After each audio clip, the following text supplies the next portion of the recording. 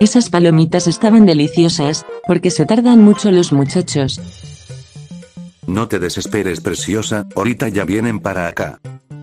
¿Alguien gusta un delicioso helado de chocolate? Ahorita no puedo comer eso, querido. Necesito cuidar mi figura para esta noche. A mí si se me antoja el helado de chocolate, por favor sirven en dos conos. A mí también regálame un poco, porque al igual que Luna, quiero cuidar mi figura. Hey hermano mayor, ya llegaron los muchachos. Sí, Mario, ¿cómo has estado? Pues estoy bien gracias a Dios, es bueno volver a verte a ti y a mi cuñada. Rosalina, qué agradable sorpresa.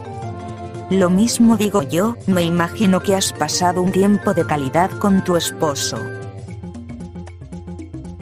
Yuleka, Nathaniel, vaya nunca me imaginé que estarían aquí con nosotros. No lo tomes a mal Kagami, solo lo hice por Yuleka porque ella quería ver a su hermano. Mi gran hermanita, así que nos volvemos a ver, después de que mamá nos dejó. No te me pongas tan sentimental, si mamá estuviera aquí no nos hubiera hecho esto. Corín, ¿qué te gustaría hacer mañana? ¿Qué te parece si mañana nos vamos a una cita tú y yo? Porque quiero un momento romántico. Chicos, Luna y yo debemos atender unos asuntos de la casa. No te preocupes amigo, lo entendemos perfectamente, vámonos Kagami. Nathaniel, Yuleka, vengan con nosotros nos vamos. Adiós chicos, cuídense mucho. Sayonara mis amigos.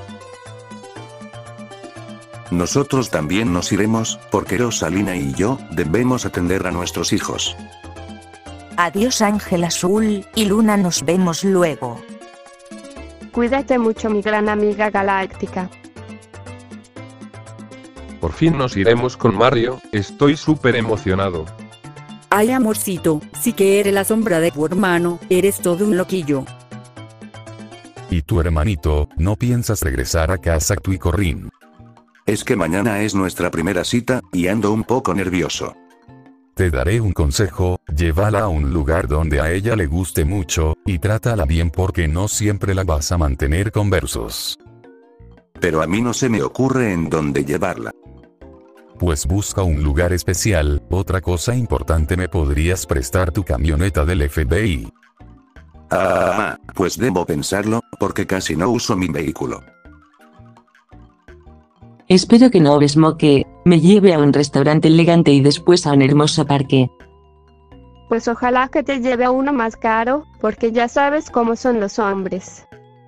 Conociendo No Smoke, estoy segura que me llevará a un restaurante elegante y con estilo. Donde quiera que estén mis dos hermanos, los voy a encontrar porque no me voy a rendir. Ángel Azul y No Smoke nos volveremos a reencontrar. Con que esta es la ciudad de Black City, se miraba más bonita en la portada.